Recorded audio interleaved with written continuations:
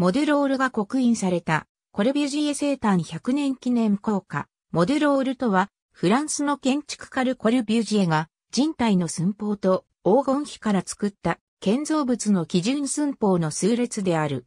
モジュロールは、フランス語のモデュールとセクションドールから作ったル・コルビュジエによる造語である。ル・コルビュジエは、古代ローマのウィトルィウス、レオナルド・ダ・ヴィンチの人体図、レオン・バッティスタ・アルベルティの仕事などから人体における数学的な比率を見出し、それを建造物の機能の向上のために利用した。モデロールは人体の寸法及びフィボナッチ数列、黄金比に基づく。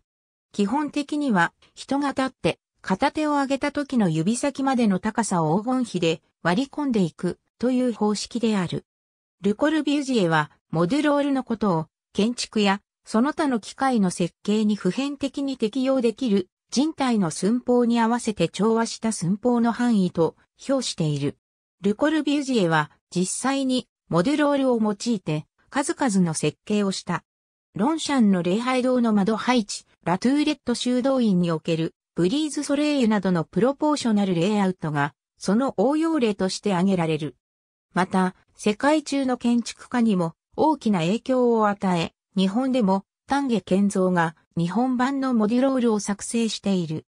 美術を取り上げる TV 番組、美の巨人たちで毎回切り替わる案内人的キャラクターの一つとして、全身黒タイツ姿のモデュロール兄弟という二人組が建築物を扱う回でしばしば登場する。ありがとうございます。